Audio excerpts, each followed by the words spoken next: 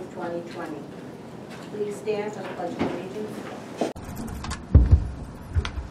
I pledge allegiance to the flag of the United States of America and to the republic for which it stands, one nation, under God, indivisible, with liberty and justice for all. Mrs. Saradaki, will you please call the roll? Mrs. Bauer? Here. Mrs. Boroff? Here. Mrs. Brody? Here.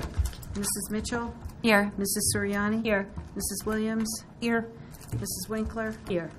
Dr. Kulikowski? Here. Quorum is present. Thank you, Mrs. Saradaki. Prior to the start of this part of the meeting, we were in executive session, and at that time, we discussed the personnel agenda, the HIB report, the legal status report, and the suspension and detention report. We have additions to the agenda added after Wednesday, February 19th. 1S, the out-of-district placement, was removed, and 4S, the 2020 Creative Summer Workshop courses. The New Jersey Open Public Meeting Law was enacted to ensure the right of the public to have advance notice of and to attend meetings of public bodies at which any business affecting their interests is discussed or acted upon. In accordance with the provisions of this act, the Scotch Plains Fanwood Board of Education has caused notice of this meeting to be published by having the date, time, and place thereof posted at the Board of Education offices located at 512 Cedar Street, Street, Scotch Plains, New Jersey. Such notice was provided in written notice and forwarded to the Star Ledger, the Times, the Township Clerk of Scotch Plains, and the Borough Clerk of Fanwood in the revised annual notice of regularly scheduled meetings adopted August 29th, 2019. At this time, we're going to have our instructional update. The first one being upon transportation. It was a study done by Ingrid Ingrid Ritano of the P- Pupil Transportation Solutions LLC. At this time, She's beginning the study. Excuse me? She's, I'm sorry, she's just beginning the study. Yes. And at this time, I'd ask Ingrid to uh, come to the podium, and will you be using the overhead, or are you just speaking tonight? I'm just speaking. Okay. Please, Thank you. Ingrid. Welcome. Good evening. My name is Ingrid Rotano, and I'm the owner of Pupil Transportation Solutions. I've been in this industry 45 years, and I've, I'm so pleased to be here because anybody that is that interested in making sure their kids are safe, I'm all for it. Um, I've already been in touch with your police department. They're so willing to work, so willing to help. It's amazing. And I really appreciate that. I want to let you know straight up. They're great people over there, too. I've um, already started. I've been here three days. Marisol and I have been working together, trying to gather map detailing so that I can get a better handle on where your walkers are coming from. Uh, at this point, we're knee deep in map detailing. I have bus routes that I'm going to be looking at. I've got stops that I'm going to be looking at to develop safety, to make sure they're safe stops so that your children are always safe getting on a bus in the morning. Whether they ride a bus or they don't, they're going to be looked at one way or another.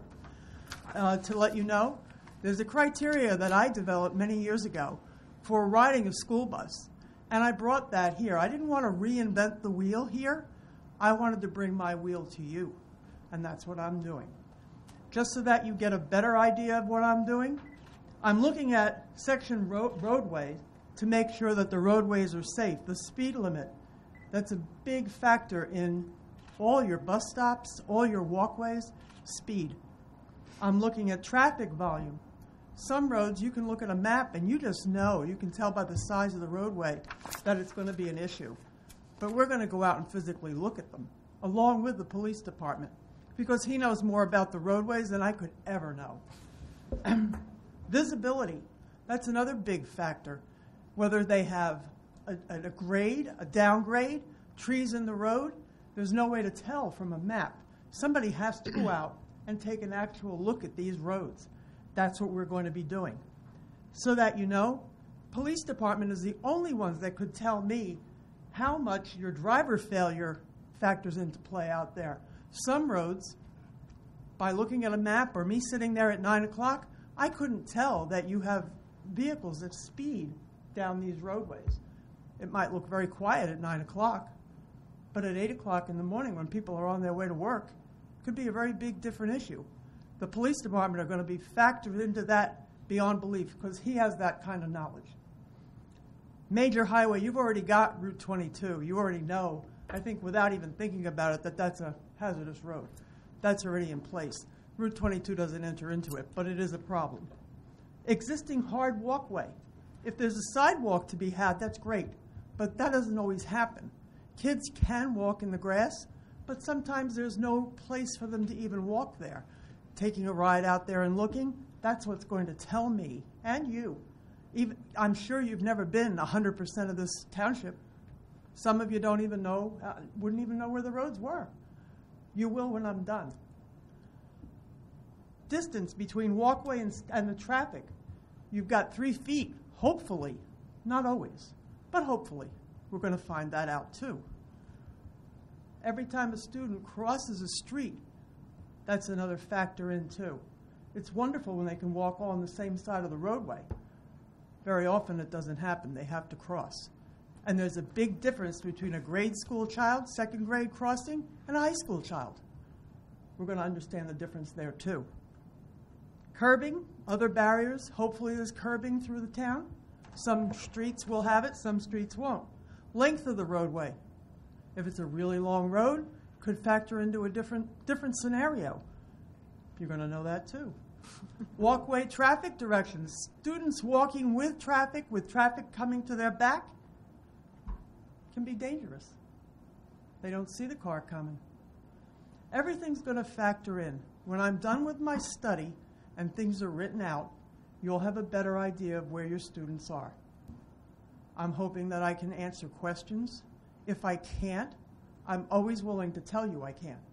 But I usually know where to get the answer. And I'm not afraid to say that I don't know. Hopefully, I know everything. Hopefully. That's what I can tell you. Population density factors into this, traffic volume, velocity of vehicles, uh, bridges, walkways. Everything's going to factor in. High school opposed to grade school, temporary conditions. You have buildings that are being put up, they break up the sidewalk. It can be a temporary situation that maybe they'll get a bus, but people will know that going in. If you have any questions, don't hesitate. Uh, the police department, as I said, has been in touch. We were together this morning, as a matter of fact. We spent a couple hours together. We're going to work hard. We're going to make this work.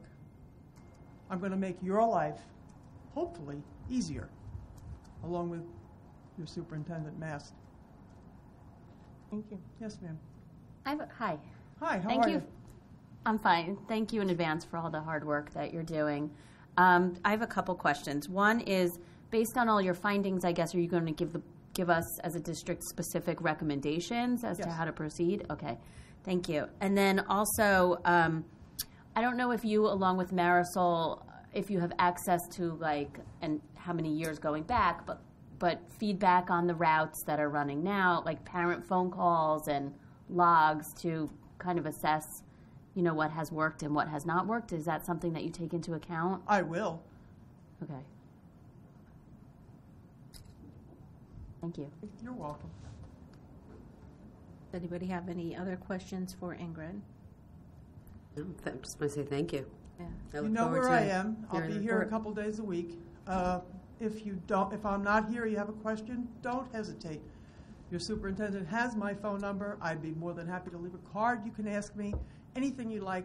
Leave a message. If I don't, if I can't get to you right away, I'll call you back. Thank you. You're welcome. I have one more question. Yeah. What What's the time frame, I guess, for the completion of your your work? Or, Hopefully by the end of May. I'm, that's what I'm looking for. thank you.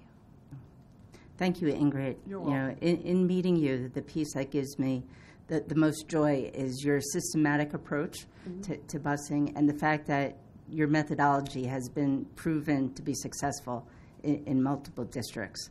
And, and the fact that you're a leader in the state and teaching at Rutgers University the transportation courses also gives us great confidence in, in working with you. And we also recognize that it's, it's professional development for all of us mm-hmm. to learn about transportation through a new lens. So thank you for joining us. Thank you very much for having me. Yeah. I, I- I enjoy this place. Thank you very much.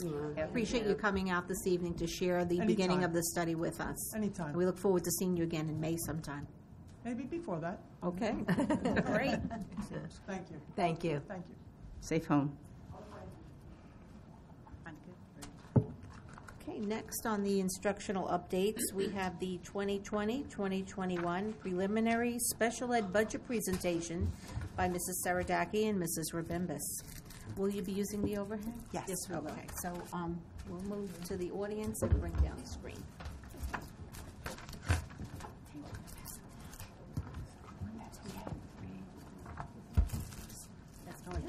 是。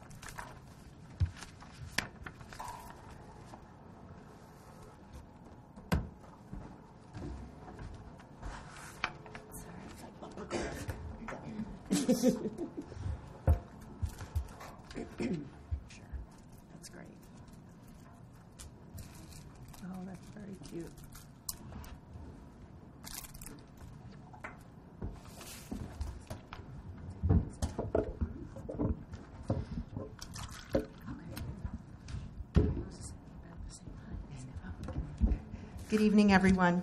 This evening, Mrs. Saradaki and I have the pleasure of presenting the special education budget for 2020, 2020, 2021. Just to give you some background information, um, through state and federal mandates, the district has an obligation to provide children with disabilities a free, appropriate public education in the least restrictive environment.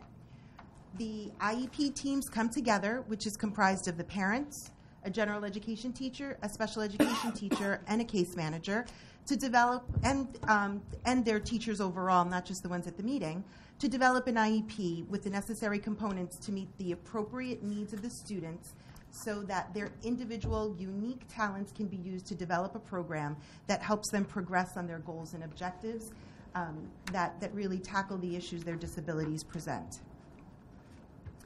Additionally, just some background information on special education. It's about educational programs and practices um, designed to meet the needs of our individual students and their unique needs. Sometimes it involves special teaching approaches, related services, modifications, but mostly a lot of care within the classroom with the student. Here you'll see our October 15th student data. This is what we report to the state every year. And you'll see that this year we had, on October 15th, we had 728 students that were classified as special education. 97 of those students were out of district at that time. And you can see their placements, the balance of those students uh, were hand, are handled, are able to remain in district, and we're able to provide the services that they need. Um, you'll see that we have some that are shared time. Uh, that is half day at our school and half day at generally it's Union County VOTEC. Uh, we have 30 that are placed in public placements and 49 in private placements, depending on their needs. And we don't have any at regular day schools this year. So our percentage this year of out of district students, I'm sorry, of total special ed students is um, about 15%. Those are students that do have IEPs in the district. If you, oh, thank you. Here you'll see it schematically. Uh, you'll see in district, 88.2% of our students are able to stay in district. 2.2% of those student are, of students are in district half a day and then at a half day program outside of district. Uh, 3.6 are in public placement and 5.9 are in private placement. Here you'll see tuition, and you'll see that this has increased dramatically uh, over the past few years, uh, with no increase significant, no increase in the number of students. You'll see back in 2015-16, there were 93 students in uh, out-of-district placements. There are currently 97. So that, um, and, but you'll see an increase of over the six, five years of, I'm sorry, I didn't make that big enough. What's the percentage? Yeah. 30 some? 38, per- well, 38.7% this year alone, we're looking at. So over the period of time, it's in the 30s. Um, with the 2% cap, that is challenging. So, um, and you'll see there how much we spend for the uh, out of you see LEA special that is um, public placements, vocational special ed that is our shared time students for the most part, uh, private in-state, and we have private out-of-state students, and then we do have uh, special ed students in state facility. The number, the first total is the total costs, and then we do get funds from the state, uh, from the federal government for the IDEA grant that is applied to tuition, and so the net number or expense is at the bottom. And you'll see that projected for next year, it's about 7.8 million.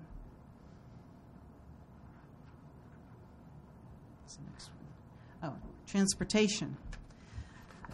Transportation costs for special ed, you'll see that under Ed Services Commission, we had a almost $500,000 increase this year from 1.8 million, I'm sorry, 1.6 million to 2.1 million. Um, Transportation has got ve- very expensive for uh, all of the districts in the state. Uh, we have a national problem with a shortage of bus drivers. The CDL laws have changed, and uh, bus drivers are now negotiating their price, their what they're willing to work for. Um, Ed Services Commission has had a problem getting routes this year uh, because of this shortage, and the costs have increased dramatically for our special ed routes. Uh, we don't use the Ed Services Commission for our uh, gen ed students, so we haven't seen quite the same increase. Uh, we do have our own drivers for much of that. So you'll see what we pay are for the our in-district salaries when they drive special ed, and that's during the summer. Our outside contractors that we have bid in ourselves. You'll see the Ed Services Commission, which is um, most of the out-of-district schools, and you'll see a management fee that we have to pay to Ed Services Commission for handling the transportation. Going back to a moment to the transportation and tuition slides, it's important to note that the district doesn't have control over those costs, and the, the out-of-district schools are not held to the 2% cap like we are. So those costs continue to increase, whereas our budgets continue to get tighter and tighter. Um, the, the one steady thing I will say is that we've tried to keep as many students um, who are appropriately to be placed in district in district with multiple supports. And we've been under 100 students out of district for the past five years, which is really great. Um, with that um, increased um, number of students staying in district, we've also had an increase of need of the students we've served that we serve. So when you look at our um, our current program in district, we have various classes throughout the district for the multiply disabled classrooms. So we have three preschool multiply disabled classes, and we have um, elementary classes that run K to four, different grade levels in different buildings. We have a class at Evergreen, a class at Coles, a class at McGinn, and two at Brunner. Thank you. I needed that little tidbit from Mrs. Panino. And then we have um, a class at Park, uh, two classes at Park, excuse me, a class at Terrill, and then we have two classes at the high school. And the, the wonderful piece about the students staying in district is that they have the opportunity to be mainstream during different times of the day with their general education peers um, and with the students that they live in the community with, which is, which is a, a nice piece for us as a district. Other programs and services that we have for our students based on their IEPs are pull-out replacement classes, in-class resource classes where we have a general education teacher working with a special education teacher in the same classroom where there are general education students and special education students working together on the general ed curriculum. We provide speech language, th- language therapy for those students that require that, occupational therapy, physical therapy, counseling ser- services, supplemental aids and supports, and of course, transportation, as was mentioned. In transportation, um, there are criteria for students with special needs. Um, all of our out of district students, obviously, um, we are required to provide transportation, and there's other criteria that we use for our in district students regarding transportation as well, that's IEP driven. When you look at special education costs, it encompasses a number of items. So when Debbie um, went over, and we'll go over further costs, we have the costs of our child study team members, which are our district social workers that are assigned as case managers, our school psychologists, and our learning disabilities teachers consultants. We have our special education teachers, preschool through grade 12.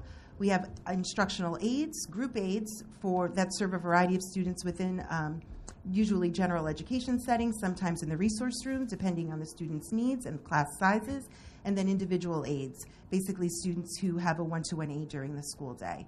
As I mentioned before, um, we do have services of OT, PT, speech, and um, BCBA service that's, services, that's behavioral supports. Those are included in our special education costs.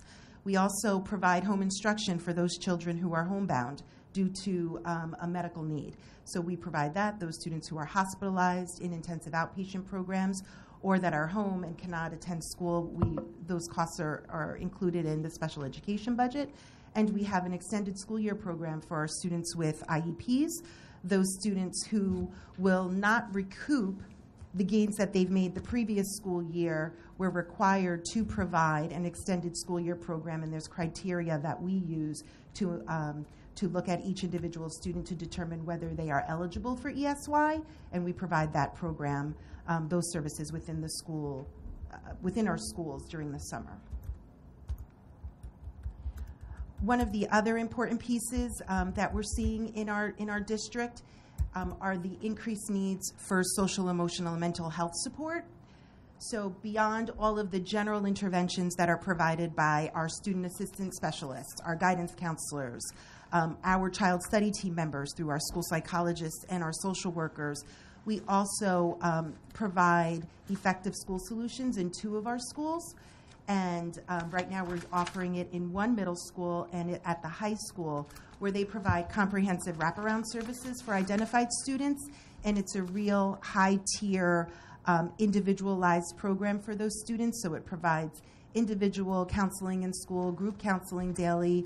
Um, they tackle issues of school avoidance, behavioral supports, family supports, and professional development to our staff a really wonderful, wonderful component of the ESS program is the connection between the clinician, the ESS clinician, the, the teachers of our district, and the staff of our district, and the families.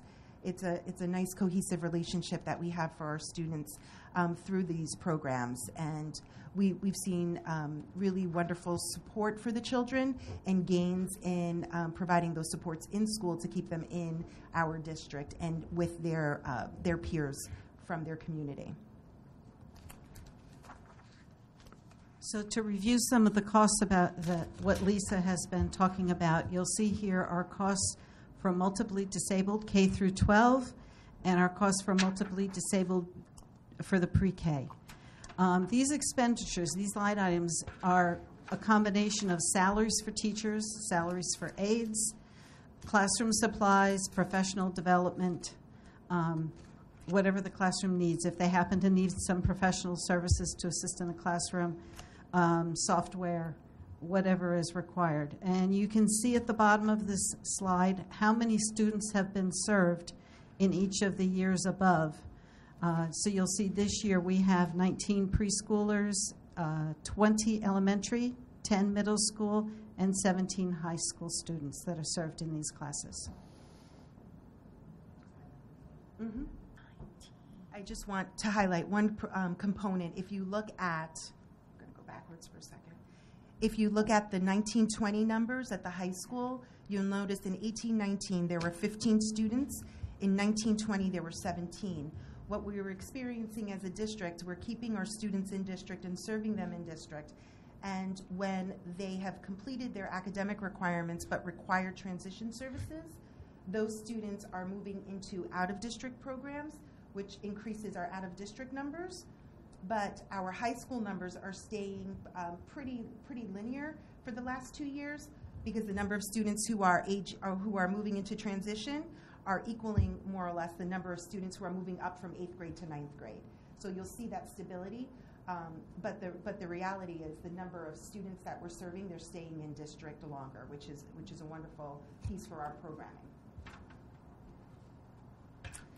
The additional support, uh, the other special education programs, you'll see at the top, resource program costs.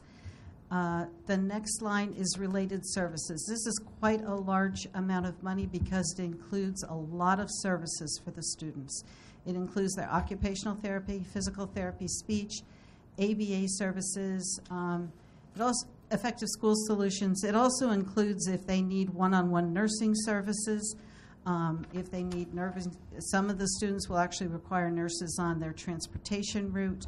Um, the next line is uh, one-to-one aids.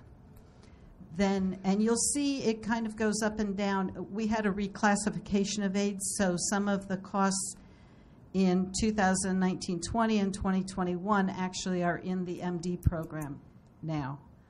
Uh, child study teams, the costs of uh, our child study teams, and home instruction.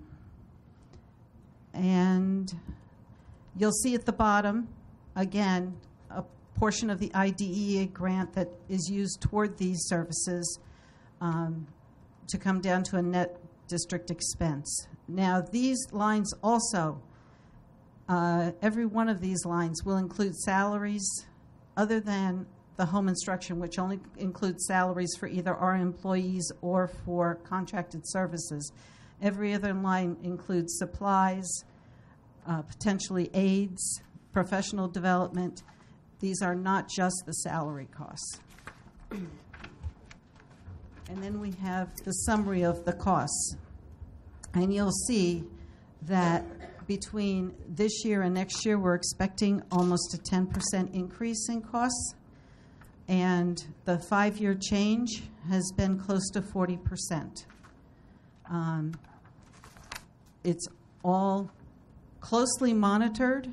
Um, it's not expense that we can do without, but it does exceed the 2% cap.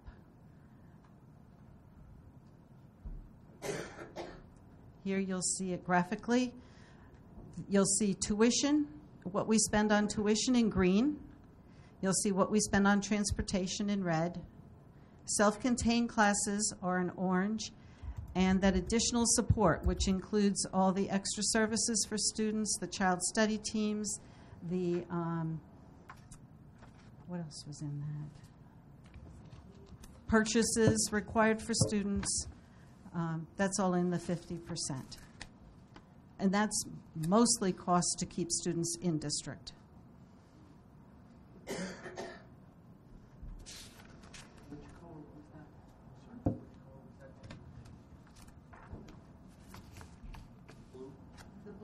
blue, is the other cost that includes the resource rooms, the one-to-one aids, um, materials, uh, the occupational therapy, physical therapy, all of those costs.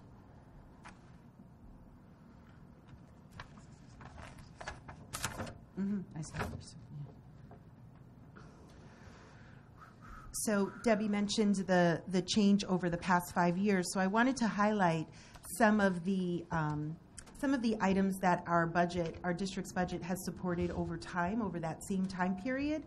We've served an increased number of special education students, and we've seen an increased need in um, an increase in their individual needs. So we've added social emotional supports, mental health supports, and behavioral supports. That's been a, a big line item over time, especially for our younger children, providing those ABA services and the uh, BCBA services. We've added increased language, um, speech and language um, specialists to our district, and we've added special education teachers, additional special education teachers over time to support the, the in-district programs. Finally, for next year, what we're, we're proposing is an additional child study team member to, in, to address the increased caseload at the high school. Currently, our high school child study team members are servicing each between nine, nine, 95 and 100 students each. And when you consider the amount of reevaluations that they need to do, the um, IEP meetings that are held that are required by law, not to mention the IEP meetings that are needed in order to address specific needs of students and the intensity of needs, it, it's become very difficult for the high school team to um, to ensure the level of, of support that we really want to to provide our families and our children. So we're requesting an additional child study team member for that. And one of the things that we've discussed as an administrative team, as we're looking at the ebb and flow of numbers, w- one of the things that happened with the high school is the, the, the what we call the bubble that happened at the younger grades has hit the high school right now. So when you look at the increased programming that we're providing, the level of students that we're keeping in district and providing quality program for, there's a need to provide those supports to the students, the teachers, and the families. So the additional team member right now would be slotted for the high school, but if um, enrollment shift, special ed needs shift, that, that position could be moved to other areas of need if warranted over time. Um, overall, our, our special education department is, is an incredible group of professionals that, um, that, that wouldn't, um, we wouldn't have the success we have without them. So Mrs. Panino and Mrs. Temesco are here, our special education supervisors. Our child study team members do yeoman's work in working with the children, the teachers, and the families. Um, our general education teachers and our administrators really understand the needs that our special education students have and are supportive of our programming and helping us in, in every single way that um, really meet those unique needs that our children possess. And, and overall, um, we, we really strive to meet not just the mandates, but the quality that our district um, expects of our programming. And um, the group of professionals that really support our children are, are dedicated to each and every one of them. So, uh, from from being um, from me, the director, I, I'm very pleased and always honored to serve our our district community because there's a group of professionals that just loves children, and it's it's really an honor. Um, we we open it up now to any questions that you may have, and I guess we can put the lights on and.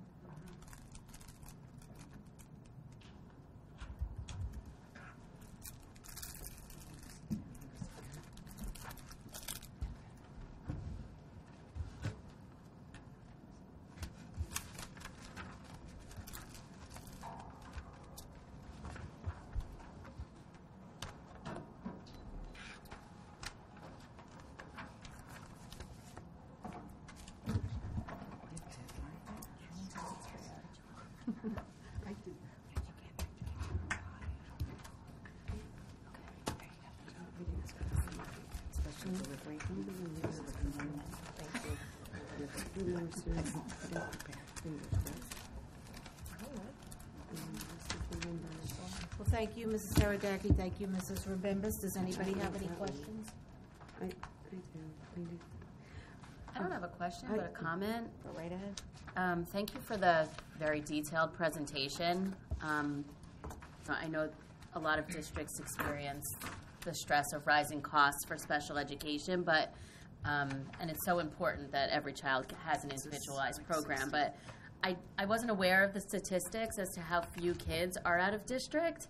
Um, And I'm, I'm just really proud of the robustness of, of our programming within district. So I was glad to, to hear that target, and, and thank you for sharing that with us.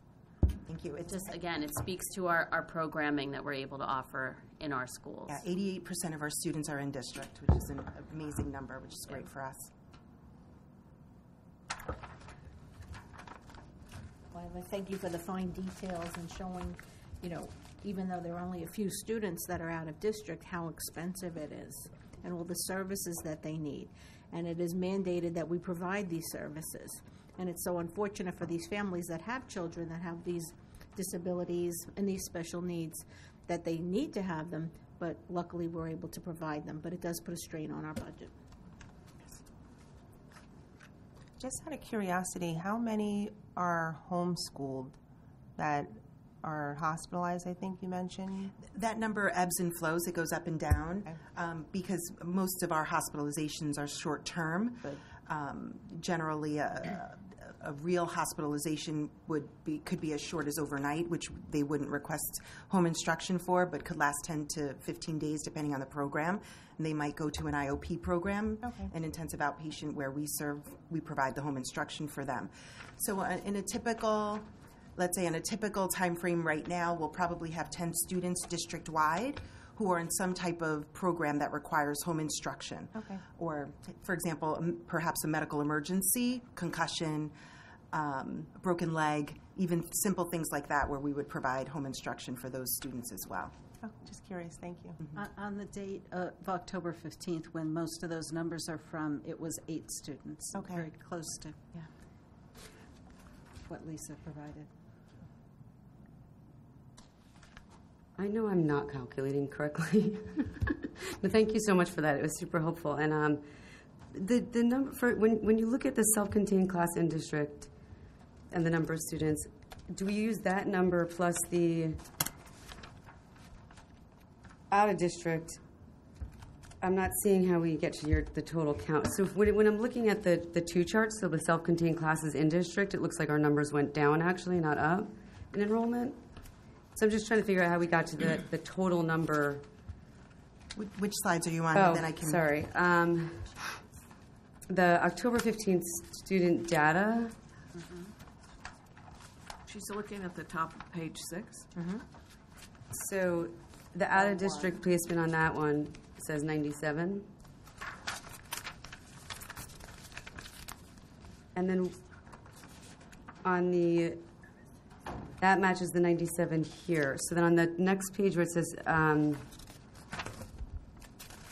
I'm ju- uh, the self-contained classes in district, that's not all inclusive of the total number of special. They're two totally different programs. Okay. So on page four, where the October 15th counts are for 97 students, those are students who are out of district and are, are in private schools for, for students with disabilities or public schools for students with disabilities. They are not in district. Right. The self-contained numbers that are on other pages, those are children who are in our current programs, in our MD classes. Those are tho- those numbers. So when you look at that enrollment with, um, where it has the, each level, pre-K, elementary, middle school, and high school, and then it has the 16, 17, and it progresses each year until 19, 20.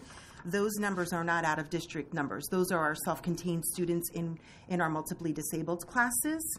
Okay, I got it. Told you I was looking at it funny. It's, um, it's a lot of vocabulary learning.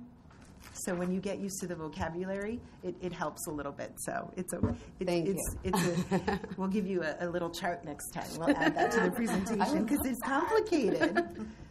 Thank you. Any other questions?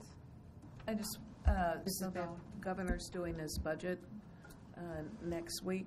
I don't think we're expecting any big increases for special ed, or it would be nominal like it was, I think, last time.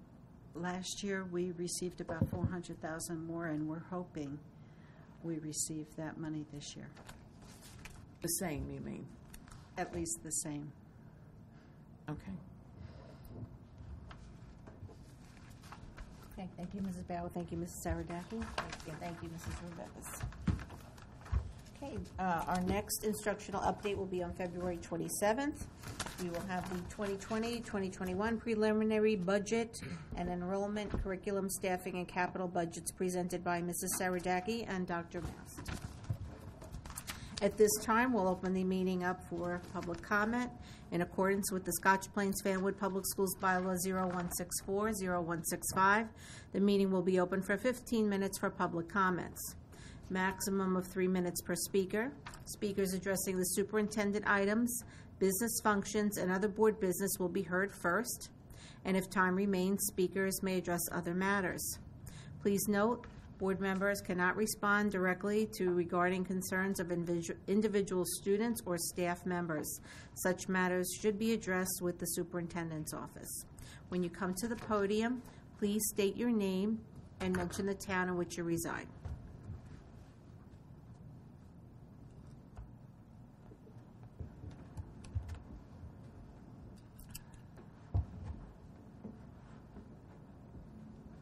Uh, Good evening, Kevin McSherry, Scotch Plains. Uh, I know we have a meeting tomorrow night, uh, the first meeting of the task force, I gather, at 5 o'clock on Friday. I'll come back to that in a second, but uh, I was looking at the agenda uh, earlier today, and I saw that uh, you're already in the process of going out for a professional services agreement uh, for Potter Architecture for the high school lights. So my concern is this, it- my concern first was at the 5 o'clock, because when you schedule a meeting on 5 o'clock Friday, kind of lets me know that you have an internal deadline you're going to meet, period.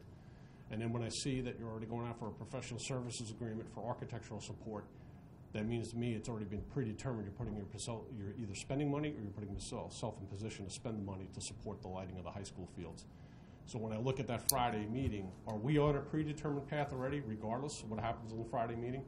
Or are we just starting the process of evaluating what the impact is to the neighborhoods around the field? And I know I'm not supposed to ask questions, but when I see the two put together, I get a little bit concerned that, you know, in my term, we're just checking the boxes to get to the application to get into the town council. I, th- I think that we're on a highly likely path that we're moving forward with the lights. And, and the purpose of the, the meeting tomorrow night is to address the concerns and um, to, to minimize the impact on the neighbors should we be successful in moving forward with the lights. Okay, um, with the studies that you're doing, the professional services agreement, all of those studies, does any of that include the impact on the, uh, the streets? Because as we've related, related before, and I don't want to rehash uh, the comments made the previous couple of weeks, because we have tomorrow night also, but the impact to the neighborhood surrounding with uh, the traffic, the parking, Yes. we lose our evenings now. Uh, the only defense that we had previously was that the sun went down, and obviously the events would end and people would leave the neighborhood, and we would have quote our quiet time unquote. So um, all the things that you're arranging for or going to investigate, and I know that you're coming out and reaching out to the community, but are you going to take that or investigate what the impact is now and how you're going to now extend that into the evening hours? Yes, we are. Okay. So I'm sure we'll be able to talk more tomorrow, but I just wanted to make sure where we stood on, because I, it looked like you were already working towards a predetermined path, and I just wanted to. You're not wrong about that. Okay. Thank you. You're welcome. Thank you, Mrs. Sharon. Madam President, if I may, just Yes. uh, for the public and for the board, just to confirm that the board is not uh, beholden to or required to move forward with any project until after bids are awarded by this board. So there's quite a few steps between, um, and to Dr. Mast's comment about, you know, the, the, the board certainly and the administration certainly has a path that they'd like to go down, but nothing is final until this board takes formal action to that effect. And the approval, uh, if, if the board later tonight approves the, uh, the go-ahead for the Potter Architects to move forward, that is still just the initial planning phases of the project. Um, There are a number of districts that go through that and then later decide not to move forward depending on estimated costs. There's a number of things that still have to be done even before bids are put together. Uh, And again, until those bids are actually awarded by the board, um, as for example, the culinary arts program that's on tonight's agenda, um, uh, until that actually happens, the, the project is not final. Thank you. Is there anybody else that wishes to address the board at this time? There will be another opportunity later. Seeing no one, then we'll close this portion of the meeting and move on to the committee reports. Does anybody have a committee report this evening? I have two. Uh, Ms. Brody, go right ahead. Okay. So, uh, Finance Committee met February 13th.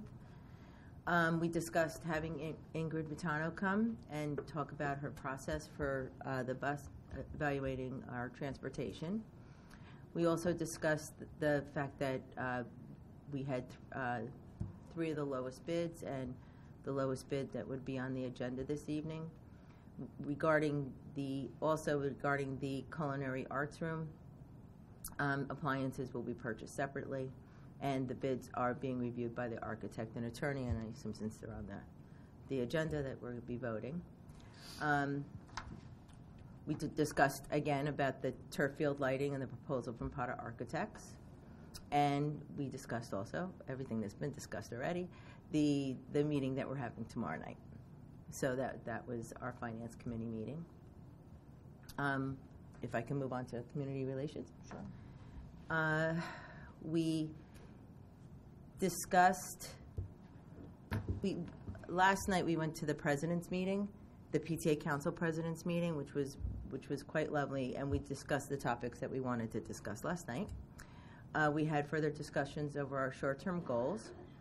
Um, we discussed how we, as a board, get notified of things happening in the district, so that have the board, because some of us do not have students in the school, to have us put on Swift K-12.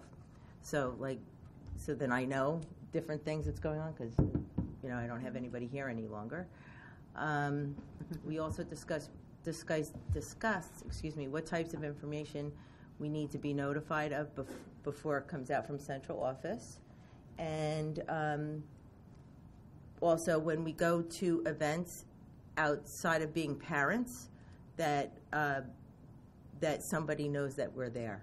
You know, so if I go to a concert, maybe somebody would uh, say that, acknowledge that I'm there, just so the public knows that we're going to other things. We're not just going to the board meetings. We're not just going to our community meetings. We're really trying to be involved with the community as much as possible, and not even just our own schools when you have children in school. So that's what we discussed. Last night, we had a really g- great meeting with the PTA presidents, and we're going to partner with them on um, tagging onto their newsletters to give some of our Board of Ed news out to parents with that vehicle. So we're going to work on a plan for that. Um, I also asked them for feedback on the website, so they're collating all their feedback together and then to give it to me so I can uh, talk to Amelia about it and Dr. Mast. We also discussed maybe having board members attend some school PTA meetings as another way to reach out to the to the parents. We discussed strategic planning and the upcoming and, and um, letting them know as soon as possible when those dates will be. Uh, what else did we talk about? That was that's is oh also they are putting me on their PTA emails so then I can let everybody know if there's an event that's going on within the PTA because we only know about the events on the district calendar. We don't know about like if somebody's going to Terrill, they don't know what the park events are, and and all, the PTAs do all kinds of really great events that we might not know of. This way, I can add them to our event calendar for board members to sign up for. So that was the the highlights of the meeting, and we're going to do this on a regular basis with the PTA presidents. It was it- it's a wonderful collaboration, and I thank Regina for allowing us to go, and all the presidents that were there for welcoming us. Very nice. And that's it. Thank you. Thank you, Ms. Brody. Does anybody else have a report to give? I have two reports as well. Ms. Soriani, go right ahead. Uh, the curriculum committee met on February 10th. We had one agenda item, but it was um, a robust agenda item. Um, Liz McKenna, um, the supervisor of English, and Noel Baxter, the supervisor of social studies and media library, came to discuss literature as windows and mirrors in our schools, um, which means helping students see themselves through the texts that they read and also helping them to see and understand others through those texts. So um, they gave a very interesting presentation. They talked about how reading increases empathy towards people's experiences, um, how students, how important it is for students to see themselves in the books that they read, helps them feel valued. They gave a little background research. Um, one study showed that, I thought this was very interesting. A study in 2018 showed that 27% of children's books featured animals as protagonists, but only 10% of books had African American protagonists. Um, so th- they presented that statistic and talked about how books are not as readily available that have minority characters, um, which are very important to provide for our students. And um, fortunately for us, um, they the district does its due diligence in finding those texts. They actually brought went to every school in the district and brought us an entire table full of texts um, that our children um, have have choices to read um, that have minority characters in the books. Um, they're very carefully selected. Um, and some of them are selected to point out specifically people with differences, and some of them are just fun stories where difference just happens to occur and it's in the background and not central to the plot. So they're also very careful to make those distinctions um, for our students. Um, so they talked about the importance of being exposed to cultures that are unlike our own. Um, and the value in social studies from a cultural perspective, and then how they also use these texts um, not just from a cultural perspective, but in language arts classes for instructional purposes and just learning things like setting and you know various um, instructional points. Um, they talked about the differences in books ranging from the elementary level, starting at picture books. They showed us this wonderful picture book um, about a child um, with special needs as a superhero and all of his special powers. So it's really not just racial diversity as well, but um, students with mental, uh, people with mental health needs, and teaching our students just about difference on all levels. So they showed us picture books and then talked about um, all the way up to the high school level with books in verse. And um, they also told us ways that students interact with the texts. There are three different ways that the students interact with the text from whole class instruction, where it's more um, at the elementary level, the whole class is reading the book, um, to where the students are engaged in book clubs or literature circles, where students have choice and they discuss various texts in small groups. Um, the book clubs are thematic, focus on such issues like identity, and then they talked about how students also have choice and can select various books for independent reading, and from either from the media center or their classroom libraries.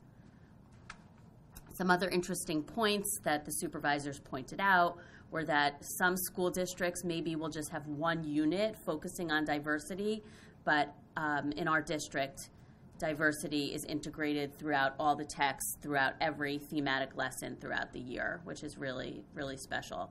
Um, again, I, I, mentioned that diversity is not just focused on racial issues, but issues of mental health, LGBTQ issues, experiences of, of other cultures throughout history, such as Jews in the Holocaust, or there was a text about um, the Japanese exper- experience in internment camp um, during World War II as well.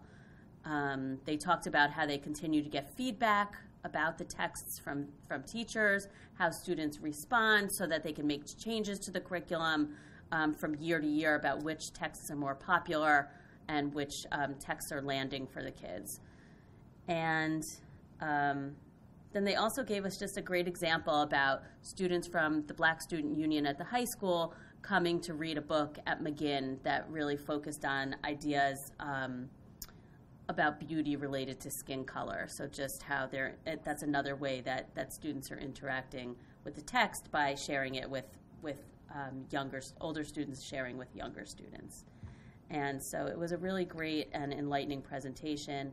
And we meet again on March 10th. Any questions? And I'll move on to truth and ra- racial healing and transformation. That was a great report, Mrs. Soriano. Yes, go right ahead with your second report. Doesn't that fall later? Yeah, that, that falls a little later. But later? Yeah, Okay. Any other regular committee reports? I know that for negotiations, we did meet on uh, February 3rd with the administrators and supervisors, and we will be meeting again on the 24th of February. Any other reports? Okay, if there are no further committee reports, we'll move on to letters from the board. Uh, One LET, email dated from February 12th, 2020, from Mrs. Regina Gannon, thanking the Board of Ed for their sympathy card. That brings us to the superintendent's report. Dr. Mast? Okay, so for 2S, I would move that the board affirms the superintendent's decisions in the four HIB cases reported in executive session on January 30th. So moved. Second. Any question or discussion? All those in favor? Aye. Any opposed? Any abstaining? Motion carries. For 3S, I would ask the board to approve the following field trips. There's a high school Spanish trip to Little Spain in New York. There's a high school math trip to the National Museum of Mathematics, where they're focused on probability. Um, Trey Shore from Terrill Middle School is bringing his ensemble to visit Quibbletown Middle School in Piscataway so they can perform and rehearse and support each other in making music. And um, Megan Fernandez is bringing her choir to the Majestic Theater in New York City. So moved. Second. Any question or discussion? All those in favor? Aye. Any opposed? Any abstaining? Motion carries. And believe it or not, it's time to approve the Creative Summer Workshop course. I would ask that the board move to uh, approve our offerings for this year. So moved. Second. Any question or discussion? All those in favor? Aye. Any opposed? Any abstaining? Motion carries. Moving on to personnel, uh, I would move, I would ask the board to approve the personnel report from this evening that we discussed in exec. So moved. Second. Any question or discussion? Mrs. Saradaki, will you please call the roll? Oh, Debbie Uh, yeah. and Amy. Uh, Mrs. Winkler? Yes. Mrs. Brody? Yes. Mrs. Bauer? Yes. Mrs. Boroff? Yes. Mrs. Mitchell? Yes. Mrs. Suriani? Yes. Mrs. Williams? Yes. Dr. Kulikowski? Yes. Motion carries. Thank you, Dr. Mast. Thank you, Mrs. Saradaki. And that brings us to the business functions, Mrs. Saradaki. Yes, I'd like to group them. Yes, please do. Um, One BUS, I'm asking that the Board of Education approve the superintendent's recommendation for staff training reimbursements on the report dated February 20th. Two BUS, I'm asking the board to approve um, contracted service for, services for child study team. Um, And that is for various students, it's child study team member, and it's Thomas Gavor at $85 an hour. Uh, Total expected amount somewhere in the neighborhood of 36000 And that's for the balance of the school year. Uh, Three BUS, Potter Architects Professional Services for the high school field lighting. Um, There is one change I need to make in this. No, that's correct. I'm sorry. Uh, Potter's Architects Professional Services project proposal is an amount of $135,255. This includes engineering services as well as his architectural services. The only thing that we'll have separate from this are the geological studies, uh, borings that have to be done at each light post to make sure the ground is suitable for supporting the light posts. And that should be about $10,000. Um, So this would be his fee for handling the project from start to finish, including br- bringing the electric in and everything. Um, And those are the three items.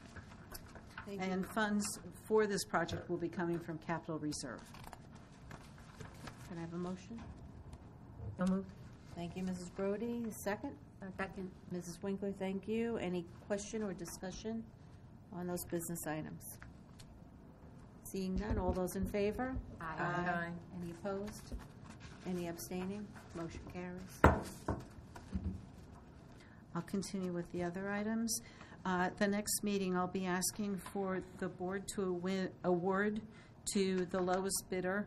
Uh, Currently, it's Triform Construction Incorporated. Uh, Our attorney has reviewed the the lowest three bidders um, and agrees that Triform is in compliance. We're just waiting for our architect's review of his references.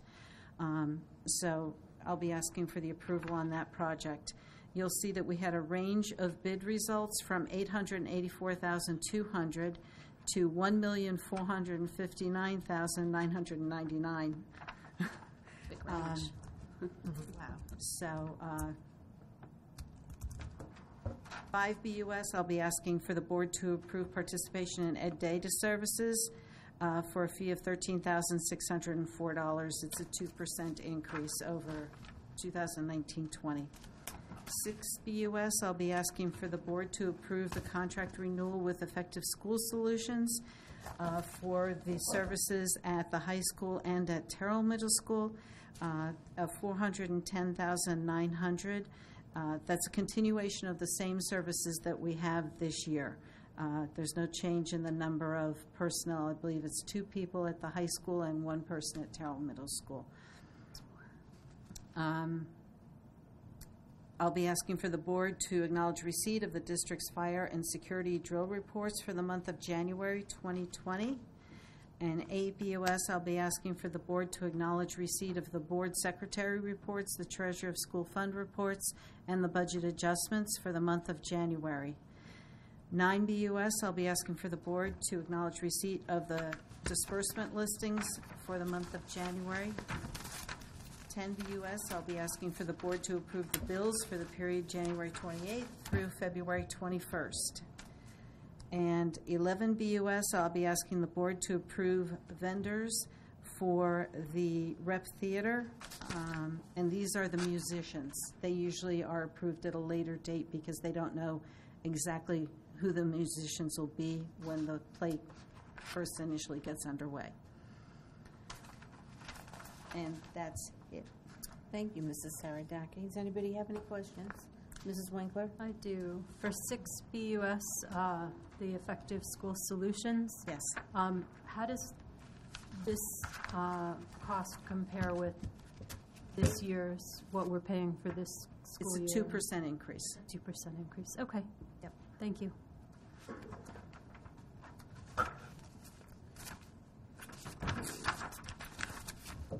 Moving on to board policies. Do we have any board policies to update? Stay tuned. Okay, thank you, Mrs. Winkler. Any new board business? Other board business? Liaison reports? Mrs. Yes. Soriano? Okay, so this is where, okay. um, I'm the board liaison to Truth, Racial Healing, and Transformation.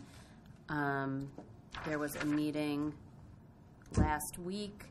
Um, Again, the group is still in the planning phases, um, kind of talking about what our short and long-term goals are.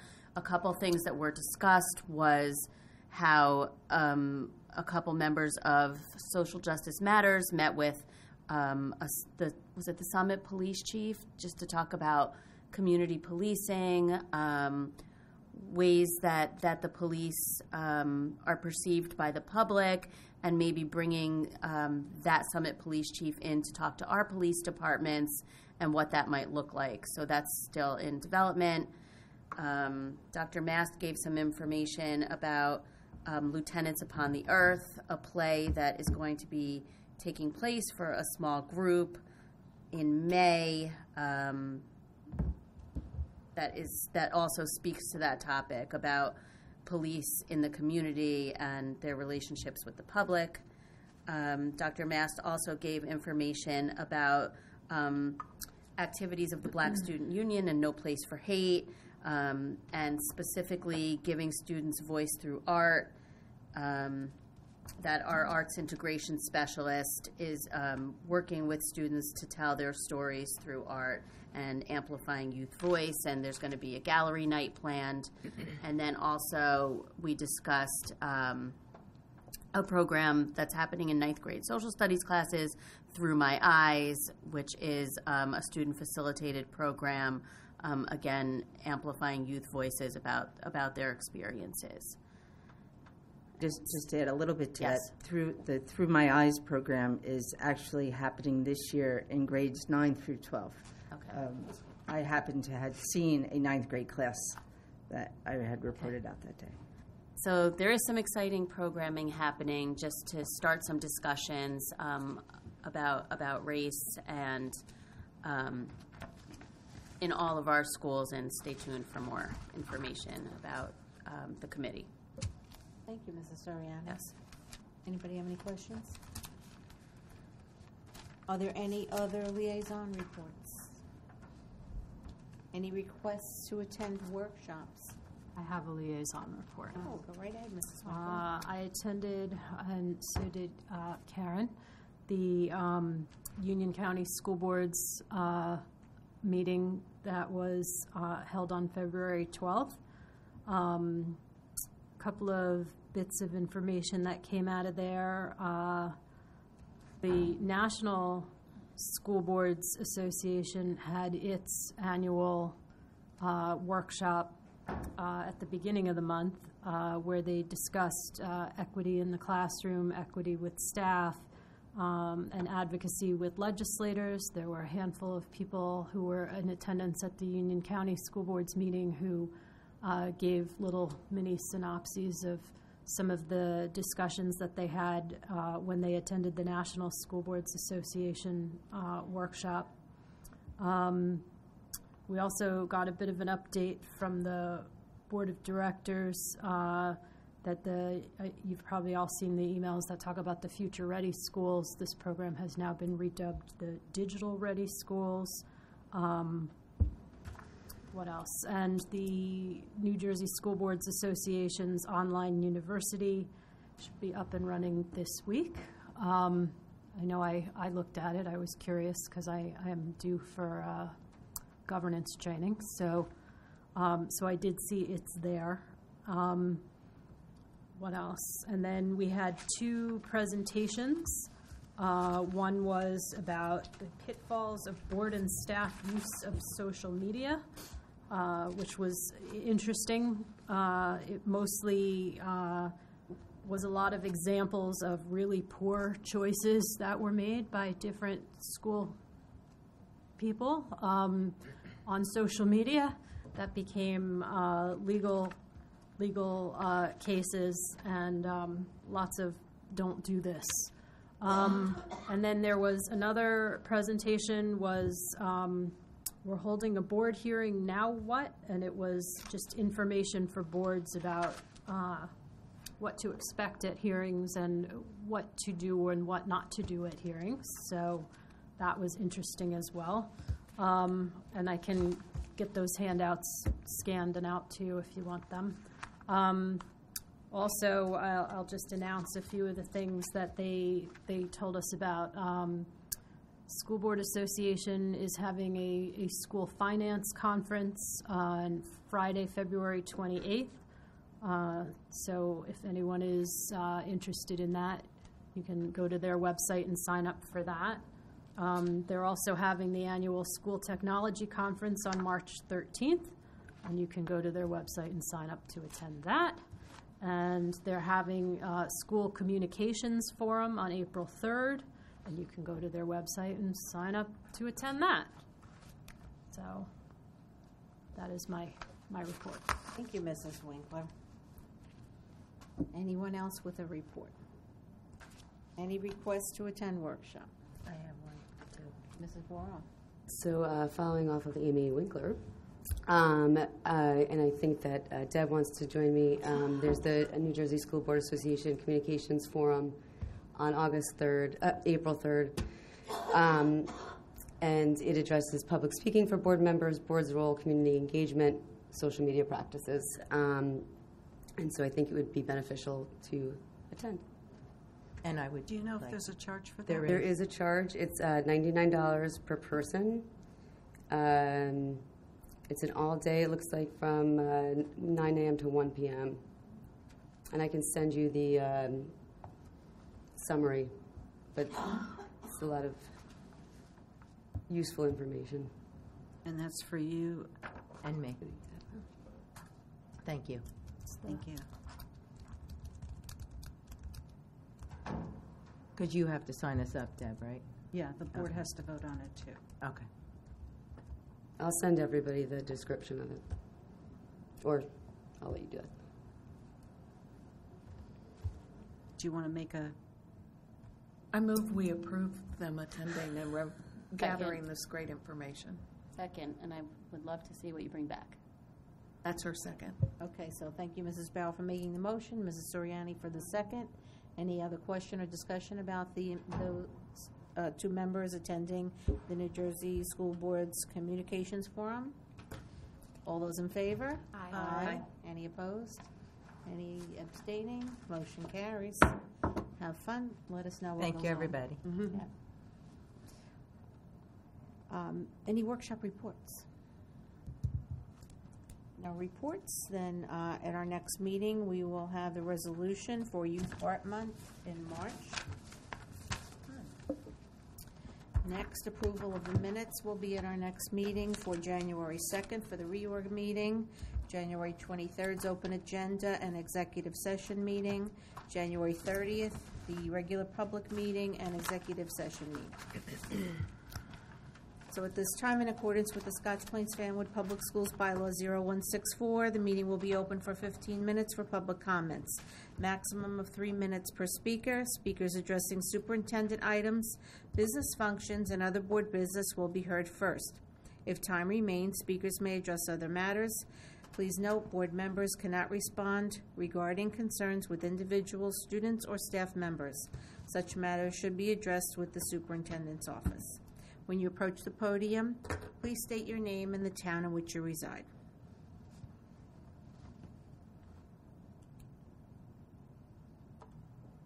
Seeing no one, we'll close this portion of the meeting and move on for the remarks of the good of the order.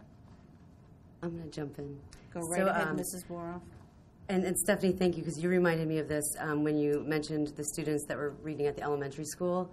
And I just um, it, had the, the privilege of going and visiting the high school when um, No Place for Hate um, uh, students were actually the upper grades um, doing hands-on projects with the ninth graders, which made me really realize um, the past week or so, I feel like we've had so many opportunities and given the students so many um, opportunities to work with different age groups. And uh, we had junior achievement, high school heroes. Um, the middle school eighth graders were presenting to fifth graders. Um, the project Stephanie, and I just think that it is. Um, it's one of the things that we talk about sometimes. Um, I know after the conference, we heard so much about that um, that that educational. Uh, how wonderful it is to have that, and so I just it's really nice to see it taking place, and I think that we're doing great things in that direction. So, um, if you haven't learned about any of those things and you want to know, definitely ask about them because they're really cool. Thank you, Mrs. Boroff. Well, speaking about Youth Art Month, we have some lovely art hanging up, and again, new and more creative pieces every time we come in here. I can't keep up with it all. It's beautiful. And it looks like some of it reflects arts integration, too. Yeah. We, we have art month every month, but. Yeah. I That's very just true. wanted to mention, I know um, some of us were at Career Day at Park Middle School, and uh, it's always nice to uh, have a chance to share things. I was trying to encourage them to become teachers, which was challenging because you had the police and people there with a lot, a lot of things that seemed maybe more exciting, but I did my best uh, because we need great teachers. If, if I could just tag on to that, I was at Terrill Middle School, and for some reason, Dr. Holloway insisted on bringing me into the cafeteria. And while I was in the cafeteria, I got to meet six students who are in eighth grade, and they are actually working with fifth graders or sixth graders in math or language arts, and they've had this tutoring or supportive relationship. And in my conversations with them, I would ask them, is this inspiring you to teach? Are you getting the bug? And in some cases, I think too, it was a clear yes, and there was maybes also embedded in there. So It's great news. I, I was also at the career explorations at Park with Mrs. Bauer, and it was very exciting to be there again. I've done this for several years, and I don't know if you had a partner in your room. Did you have another professional? Well, mine didn't show up, so I had the whole time to myself. And it, it's so um, nice to see the students open up after first feeling a little, you know, shy. And its teacher was in the room to, to prompt them to ask questions. But once we got going, then the, the time to change classes, they didn't want to go. So we really had a good time, and I really appreciate the opportunity to work with the uh, eighth grade students over at Park every year for the career explorations. It's it's an amazing uh, opportunity. I'm glad you were there too, Nance. I saw you briefly in the I beginning. was with the mayor of Fanwood, and so we're, our, our uh, push was for public service. Very good. So, Love it. I did want to also mention that we had a good turnout for the PTA coffee since our last meeting. Yes. And a lot, a lot of good questions that parents uh, came out to ask. So thank you to the PTA for hosting that. There's one coming up, another one, right? Yes. The 18th, March 18th. March 18th. That's um, with the superintendent, not with the board. Mm-hmm. Well, not that board members We're still can't go, but it's. We could still go. If I could just say, I wanted to go back to, you gave me a segue, but then I didn't take it, for eighth graders and, and uh, um, civic service. Um, I know last meeting I couldn't, I couldn't attend, but I think Dr. Mast gave a brief update on the initiative that we're doing with eighth graders in the district, having an opportunity to come to a board meeting and individuals shadow each board member. This is something that um, a district in the northern part of the state did and then presented about at school board's workshop and, and it was really exciting. So we're kind of taking their lead and, and bringing it here. And just wanted to give a little update because i saw mr Geraci, who's kind of taking a lead and he developed helped to flesh out the, the application and he's going to be um, i think dr mast is going to be um, reading the blind applications and making selections, but he's been really instrumental in helping with this process. And he told me that we have a really happy problem. We have a lot of applications. So it's really exciting to know that, that our eighth grade students are um, excited about the opportunity of, um, you know, learning more about what we do, coming to meetings, and I think it's going to be a really fun process and um, in line with the social studies and civics curriculum. So authentic The reading those, experiences. yeah. yeah. And um, just That's going to be in May. They'll be at, a, Right. at one of our board meetings in May. Yeah. Yeah, that's, that's again, it's keep, keep tuned in for that one. Yes. Yeah. But the, the, the, the Taste of the Town is coming up on March 5th, and I know several board members have already uh, bought their tickets to go on March 5th, and this will benefit the teachers with grants and, you know, help the educational process in Scotch Plains. So we're looking forward to having a delicious time while raising funds for the students. And also Chicago, I saw the billboard up in front of the high school today when I rode by for all the performances listed coming up in March. I can't wait for that either. Every year, that's another uh, great event we look forward to. Get your tickets early, they sell Oh, out. They do sell out, yes. I put my request in already. And uh, one more thing. Uh, It was uh, February 9th that our illustrious superintendent performed at the Shiloh Baptist Church in the Rise Up Chorus. And uh, myself and Amy were in attendance in the audience, along with Mr. Geraci. And I think Patrice Robin. Robin. Robin was there, and I thought I saw somebody else in the audience, but it was a lovely event, and it was an honor to see Dr. Mast perform, and it was just a great event, and I look forward to seeing you in future events. Thank you very much. It was nice to have your support. Oh, thank you. So if there are any other remarks, then can I please have a motion for adjournment? Madam President, Uh, uh, Oh, yes, adjournment to go into exec. We do have some additional um, business to attend to. We will not be coming back into public. So um, when we go into um, our exec meeting, we will not be coming a- back out. except to adjourn the meeting. No, no further action is Oh, yeah, anticipated. no, a- no action will be taken. So can I have that? So moved. Second. All those in favor? Aye. Aye, sounded Thank you, pretty Mike, Debbie. unanimous. All right, thank you. See you next time. Everybody move.